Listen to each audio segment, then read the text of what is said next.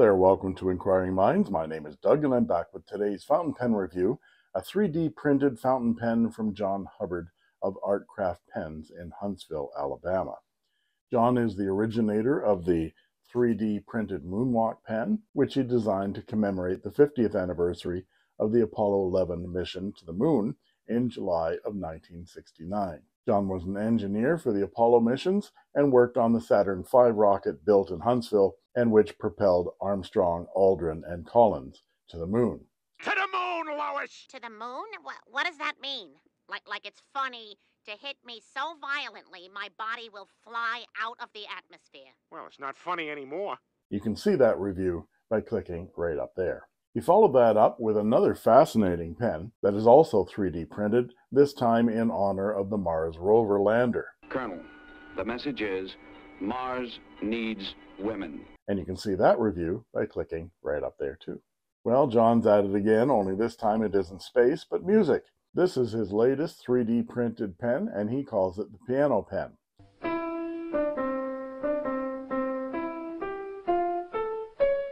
you stupid rabbit! Like this!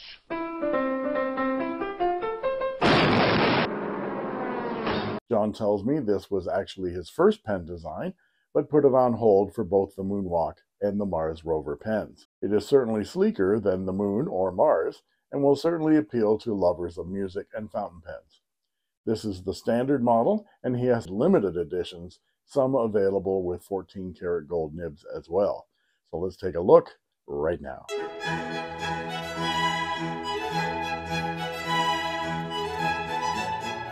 So, more than a year ago, I was contacted by John Hubbard of Huntsville, Alabama. Now, John is, uh, or was, an engineer with NASA during the Apollo program. He worked on the Saturn V rocket that propelled the Apollo 11 and Armstrong, Aldrin, and Collins to the moon in 1969, July. And because he's always been a big fountain pen fan, uh, in his retirement, he developed a 3D printing business. And for the 50th anniversary of the moon landing, he created this 3D printed moonwalk pen, which he most generously sent to me for review. It's absolutely wonderful. Uh, it's a pull off cap and it has a Franklin Christoph steel nib in black. It's a cartridge converter pen, and on the barrel it has either Armstrong or Aldrin's footprint on the moon, and we came in peace for all mankind. Wonderful, wonderful pen in a rickshaw bag. And then he followed that up with the Mars rover pen. And this is to commemorate the Mars rover lander and it has the rover's tire tracks in the Martian surface. And this one is a screw cap and again has a Franklin Christoph steel nib and comes in a matching rickshaw bag. Well, John recently contacted me and told me that he had developed another pen, and this design actually predates both of these, but were put on hold for both of these pens. This is another 3D printed pen, and I'm going to open it right now. Since John made the first uh, Moonwalk pen, he decided to name his company Artcraft. And so that's why you see that logo on the front. And I have a little bit of a story for that. So open it up, and we have another rickshaw bag. We have his card, Huntsville, Alabama, Art Craft Pens, and his email address and telephone number. And here's the pen in the wonderful matching rickshaw bag. What's interesting about this pen is it's not that rough surface that you see on the previous two, but polished very, very smooth. Still 3D printed, but this has this piano motif, the hands on the piano keys, and those keys are raised in texture. It says Artcraft on the bottom, and the cap has a swoop design that matches the swoop design of the keyboard as well. This is a screw top cap, and again a Franklin Christoph black steel nib and plastic feed. It is a cartridge converter, all 3D printed, and the pen posts, of course. So, I'm very interested in doing a review of this pen. Thank you, John, for sending it to me. I'm excited to try out this pen, put it through its paces, and do a review. The Artcraft Piano Pen Standard Edition.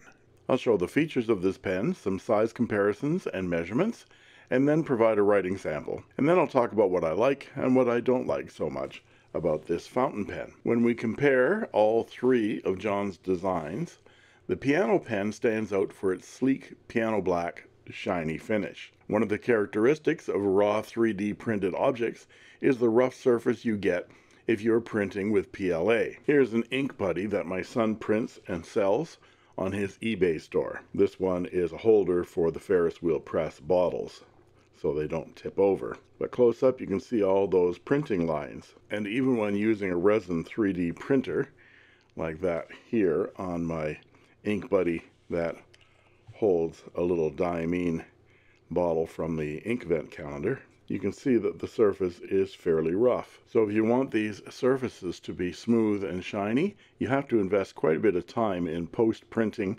sanding, filling, painting, and polishing. Both of John's Moonwalk and Mars Rover pens had extensive finishing work done to them to get these marvelous hand-painted textures. The piano pen has been finished to a mirror smooth shine and given a ceramic clear coat finish called Cerakote. John is quick to point out that though he is the owner and creative designer of these pens, he has an entire team of people local to the Huntsville area involved in the finishing of these writing instruments. He has a 3D computer modeling expert, a digital sculpturing expert, an expert in stereolithographic printing, an artist who hand paints the pens, and finally an expert who gives the pen the Cerakote treatment. The cigar shaped pen is very light in the hand and almost slippery and smooth to the touch. There's no clip, but a clip version is available, and the piano keys and hands design on the barrel are quite deep in the surface. The white keys are hand painted with acrylic paint. And it says Artcraft under the key design, but the letters are not uniformly deep or thick enough to quickly decipher what it says. The cap unscrews with one and a half turns to reveal the thick 3D printed section and number 6 size Franklin Christoph JoWo steel medium nib and black plastic feed. The nib is painted black enamel over steel with the Franklin Christoph logo laser etched on it. The nib and feed are part of a JoWo nib unit which unscrews for replacement or maintenance. The section is roughly the same size and shape as a Mont Blanc 149. As you can see, if you include the threaded portion of the 149, they are pretty much the same. The piano pen section has the cap threads on the top instead. One thick block thread is all that's needed to cap the pen and acts like a section flare as well. It's a very clever design. The section unscrews to reveal the included top quality Schmidt Standard International converter there is no silicone ring on the section nozzle, which means this is plastic on plastic. This has caused me to unscrew the barrel several times while trying to uncap the pen. So I actually went ahead and added a little silicone O-ring, a very small thin one, to that section nozzle. That keeps that section and barrel very, very tight. The inside of the cap shows a step that meets with the section to seal the nib from evaporation. The cap posts deeply but is quite loose and falls off while you're writing with it. But you have to give it a little bit of a twist to hold it on there. There's only one place where it actually holds on. There we go. And so now that's on there very nicely and tightly. And posted, that cap is very, very light and doesn't unbalance the pen. The pen is very, very nice and comfortable in the hand, both posted and unposted. And I've posted this by screwing it on there quite tight a number of times and I'm showing no marring of that surface on the barrel at all. That Cerakote finish must be very, very robust indeed. There are three editions of the piano pen. This standard not limited edition with or without a clip is $235 or $245 if you add the rickshaw pen sleeve. The chromatic scale edition has a 14 karat gold JoWo nib and is limited to 12 pens, one for each note of the chromatic scale, and is $375. There is only one pen per note. The keyboard edition is limited to 88 pens in a numbered series, one of 88, two of 88, etc., and is $270 US. Now let's look at some size comparisons. And here is the Artcraft 3D printed piano pen with a Artcraft Moonwalk 3D printed pen, 3D printed pen, 3D printed pen, 3D printed pen. Ugh. The Mars Rover 3D printed pen, a Jinhao X159, and a Pilot Metropolitan for scale. Now let's look at them posted. And here they are posted. The Mars Rover and the piano pen have the same screw thread on the section, but the Moonwalk is a pull to uncap pen. All three of the 3D printed pens have the same steel number 6 JoWo Franklin Christoph nib. The X159 has a number 8 size steel nib, and you can see how big all four of these pens are compared to the Metropolitan. Now let's look at them unposted. You can see that all four of these pens are roughly the same size unposted. Now let's look at some measurements and I'll be back with a writing sample.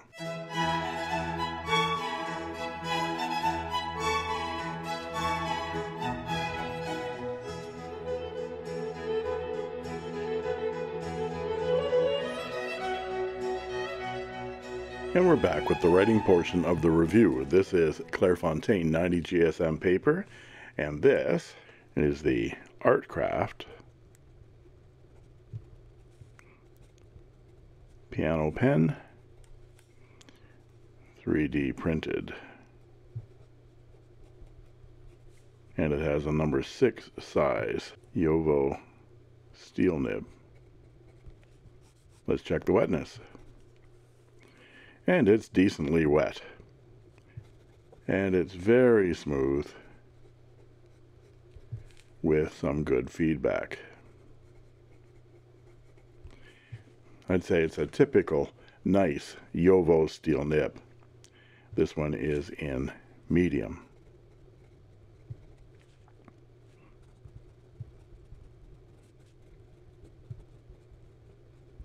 And as the line variation, well, you can push out a little bit, but it's not a flex pen. And the ink today is black. Well, it's Mont Blanc. Mystery black.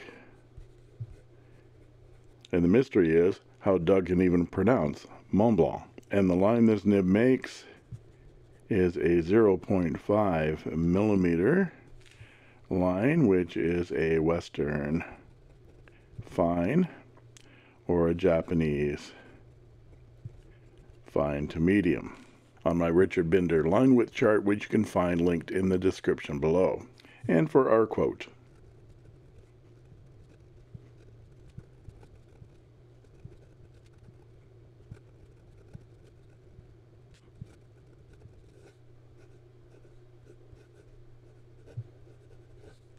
And for some reverse writing, it's a bit scratchier, but thinner and not too dry at all. And some quick writing.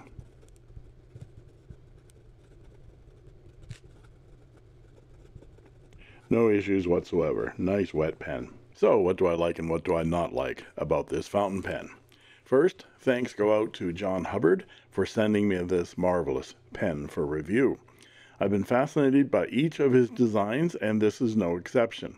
While I've always been fascinated by the space race, from when I studied my time life moon maps during the Apollo 11 landings in the summer of 1969, to the latest amazing developments like the new James Webb telescope, it is music that has been my greatest joy. My mother was an excellent organist and pianist, and all three of her kids were encouraged to play a musical instrument. I took piano lessons, but was never able to get the piano bench to myself, as my older brother constantly pushed me off it.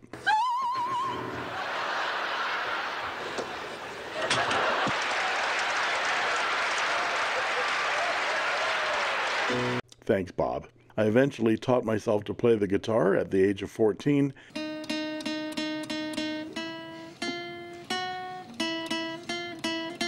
What's happening here? Imagine there's no heaven, no hell below us. and played and collected guitars for the rest of my life. The piano is, if you'll pardon the pun, the key to all music, in my opinion. Forgive the pun.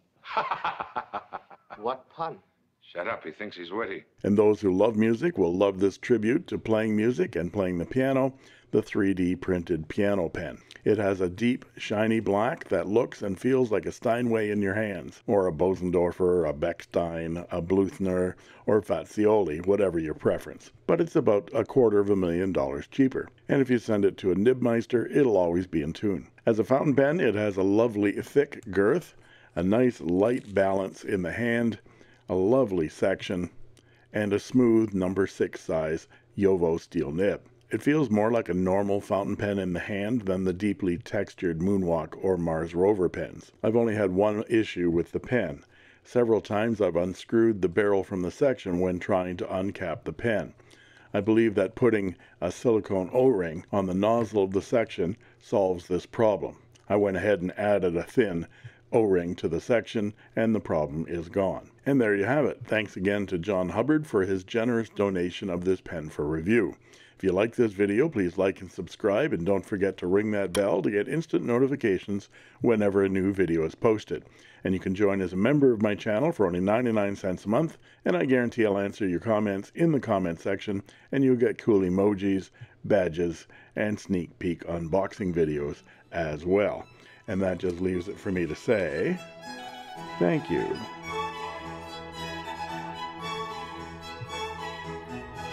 For watching.